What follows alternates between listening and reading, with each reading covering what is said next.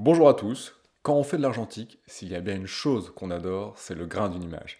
D'ailleurs, c'est l'une des caractéristiques fondamentales de l'argentique que l'on ne retrouve pas dans le numérique. Aujourd'hui, je vous propose qu'on vienne en détail sur ce sujet. En fait, une image argentique est fabriquée à partir de cristaux d'halogénure d'argent. Ces cristaux qui, une fois développés, vont s'agréger et donner du grain à l'image. Plus ces agrégats sont gros et plus euh, le grain de l'image sera visible. Sur ce schéma, vous pouvez voir les cristaux d'halogénure d'argent dans l'émulsion avant développement et euh, de l'autre côté, vous avez après développement lorsque les cristaux ont explosé et euh, forment des agrégats de grains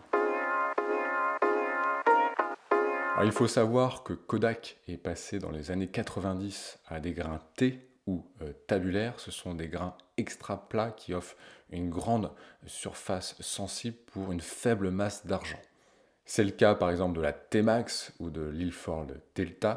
Par comparaison, si on prenait la Kodak Trix, qui est un film plus ancien, on a un grain euh, plus grossier, mais dont l'aspect euh, sera plus marqué sur l'image. L'unité de mesure pour mesurer le grain, c'est le RMS pour Root Mean Square. On retrouve généralement cette unité de mesure dans la notice du film et je me suis amusé à un petit peu compulser et regrouper euh, la taille du grain des différents films argentiques noir et blanc dans un tableau récapitulatif. Alors j'ai été vraiment très surpris euh, par euh, certains résultats. si on regarde d'un peu plus près, l'Acros 100 a un RMS de 7 et celui de la Kodak 400 X est à 17. Donc on a un film avec un gros grain pour celui de la 400X. Paradoxalement, celui de la T-Max 3200 n'est pas si important, on est à 18, donc pas beaucoup de différence entre la 400X et la 3200. Le RMS le plus important que j'ai trouvé, c'est celui de la Roller Retro 400S qui est à 25. Je vous propose maintenant qu'on parle de deux films très différents.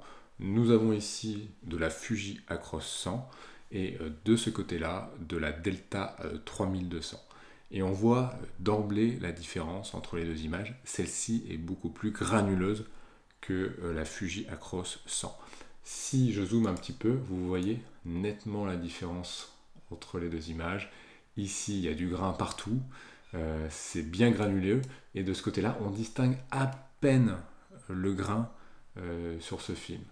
Ça montre bien euh, la différence entre un film à grain fin et un film à grain épais.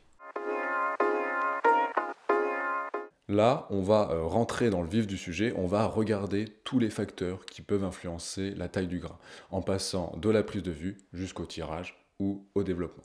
Donc pour commencer, on a les films à grain fin. Ce sont des films qui généralement ont une sensibilité de 25 ou de 50 ISO. Par exemple, on a la Rollet RPX 25 ou euh, la DOX CMS 20. Par comparaison, ensuite, on a les films à grains épais, si on peut dire. C'est le cas, par exemple, de l'Ilford Delta 3200, qui, d'ailleurs, au passage, aurait une sensibilité que de 1000 ISO. les autres facteurs pouvant intervenir euh, dans la taille du grain, j'ai la liste sous les yeux, c'est le traitement poussé. Si par exemple vous poussez votre pellicule de 400 à 800 ISO, c'est si vous augmentez le temps de développement de votre film. Ça dépend aussi du type de révélateur que vous avez. Vous avez des révélateurs à grains fins, c'est le cas de l'Ilford Perceptol, ou au contraire, vous avez le Rodinal qui va générer beaucoup de grains. Euh, pour finir, ça dépend aussi du rapport d'agrandissement de l'image si vous tirez votre image. Et pour finir, forcément, le format euh, du film argentique que vous utilisez, le 24-36, aura plus de grains que le moyen format, c'est logique car il y a plus de surface euh, sur un négatif moyen format. Comme vous pouvez le voir, il y a une multitude de facteurs qui peuvent rentrer en jeu dans la taille du grain. J'en ai probablement oublié, et d'ailleurs si vous, vous en connaissez d'autres, n'hésitez pas à les mettre en commentaire. On ne pouvait pas parler du grain sans mentionner la possibilité d'en ajouter numériquement sur Lightroom. Pour cela, il suffit d'aller dans la section Effets et vous aurez une catégorie grain. Donc pour moduler l'intensité de cet effet, il suffit d'augmenter la valeur. Donc vous voyez, je vais aller jusqu'à 50. Et si je zoome, on voit euh, effectivement le grain euh, qui apparaît sur l'image. Si je désactive l'effet, on voit tout de suite qu'on revient sur une image normale. Vous avez aussi la possibilité d'augmenter la taille du grain. Donc si vous augmentez la valeur, le grain sera plus gros. Je vais revenir à une taille normale. Et si vous euh, modifiez la cassure, vous allez jouer sur la forme du grain. Plus la cassure est faible et plus vous aurez un grain régulier. Et plus la cassure est élevée et plus vous aurez un grain irrégulier. J'espère que le grain des films argentiques n'aura plus trop de secrets pour vous. C'est devenu vraiment un paramètre régulièrement utilisé en photographie numérique pour casser un peu le côté trop net ou trop lisse des images. Et c'est marrant de voir comme la photographie numérique récupère certaines choses de l'argentique pour faire plus authentique. Malgré tout, euh, rien ne vaut le grain d'un bon vieux film argentique. N'hésitez pas à vous abonner et moi je vous dis à très vite pour une prochaine vidéo.